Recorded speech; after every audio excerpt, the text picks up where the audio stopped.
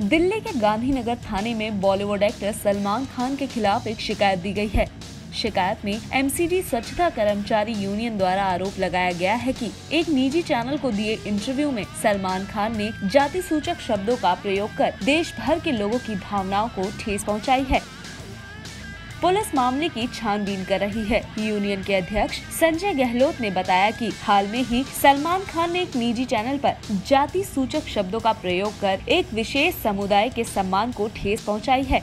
सलमान खान देश के बहुत बड़े सेलिब्रिटी हैं। लोग उन्हें फॉलो करते हैं। ऐसे में उनके खिलाफ कड़ी कार्यवाही की जानी चाहिए।